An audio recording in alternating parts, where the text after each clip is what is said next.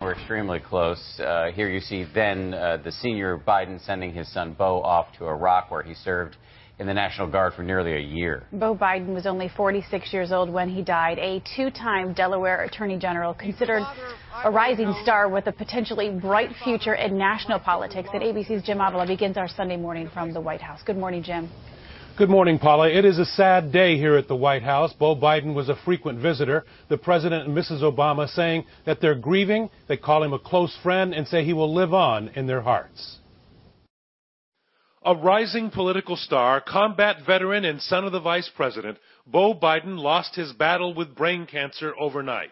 His entire family at his Washington, D.C. bedside. It is with broken hearts that Hallie, Hunter, Ashley, Jill, and I announced the passing of our husband, brother, and son, Beau. Beau, a father of two, born Joseph Biden III, his young life and relationship with his dad forged by tragedy losing his mother and sister in a fatal car accident. He and his brother Hunter nearly killed too.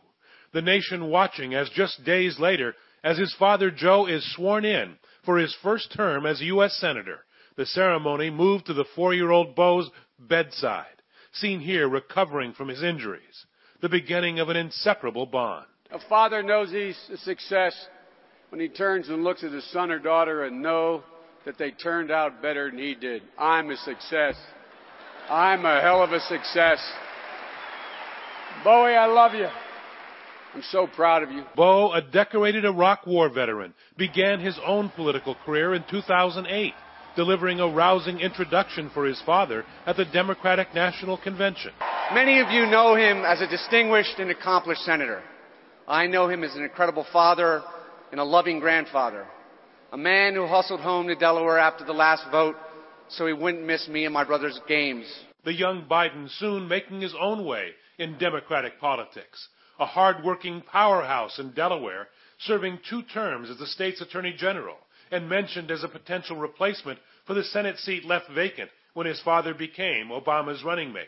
But soon his health problems began. In 2010, he suffered what was originally thought to be a stroke and then in another episode in 2013, doctors diagnosed brain cancer, re-entering the hospital the final time last month. Beau Biden was optimistic to the end. Just last year in 2014, he announced his plans to run for governor in Delaware.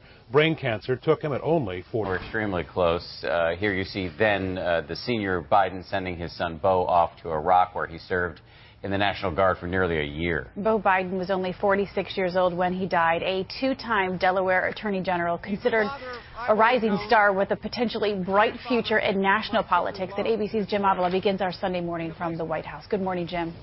Good morning, Paula. It is a sad day here at the White House. Beau Biden was a frequent visitor. The President and Mrs. Obama. Joseph Biden III, his young life and relationship with his dad forged by tragedy losing his mother and sister in a fatal car accident. He and his brother Hunter nearly killed too. The nation watching as just days later, as his father Joe is sworn in for his first term as U.S. Senator. The ceremony moved to the four-year-old Beau's bedside, seen here recovering from his injuries. The beginning of an inseparable bond. A father Obama saying that they're grieving, they call him a close friend, and say he will live on in their hearts. A rising political star, combat veteran, and son of the vice president, Beau Biden lost his battle with brain cancer overnight.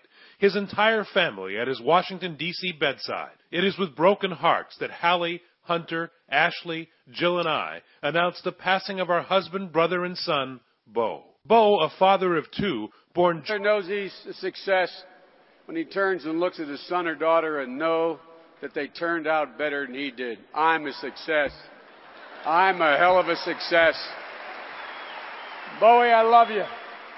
I'm so proud of you. Beau, a decorated Iraq War veteran, began his own political career in 2008, delivering a rousing introduction for his father at the Democratic National Convention. Many of you know him as a distinguished and accomplished senator.